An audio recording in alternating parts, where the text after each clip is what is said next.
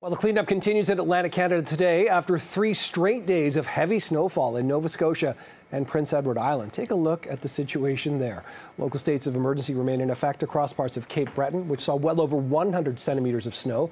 In Halifax, residents are shoveling up for more than 50 centimeters.